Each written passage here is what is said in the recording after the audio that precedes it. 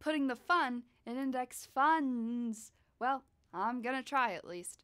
Just like the name says, an index fund is a type of mutual fund or exchange traded fund that replicates an index. You may ask, what is an index? Well, an index is a list of stocks or bonds or both that are grouped together because of particular characteristics, such as the 30 stocks in the Dow Jones Industrial Average.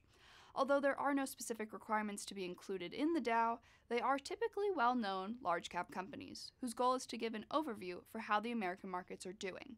You can't invest directly in the Dow or any other index, therefore, we have index funds. Index funds are a popular choice among investors for a multitude of reasons, so let's delve into them. There are hundreds of indices and therefore thousands of index funds. Some funds track company size and are grouped by market cap, for example, the Russell 2000, which is made up of 2,000 small cap companies. Others track a sector like industrials or a specific industry within a sector like airlines.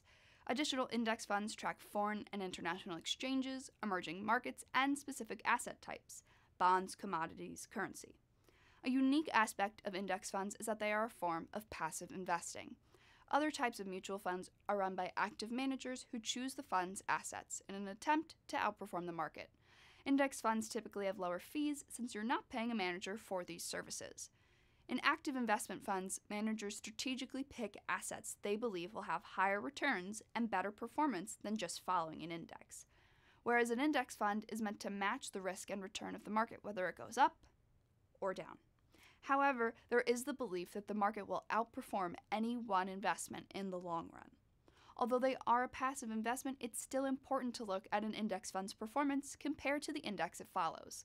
This allows you to make sure the fund is being managed correctly. If there are large variations in performance, then the manager is clearly not doing their job. One of the great features of owning an index fund is the access to broad market exposure. For example, an S&P 500 index fund has 500 of the largest publicly traded companies. From Adobe to Coca-Cola, MasterCard to O'Reilly Auto, Ralph Lauren to United Airlines. You get the picture. Rather than buying 500 stocks individually, which would be expensive and difficult to manage, an index fund can give you exposure to all the companies in the index.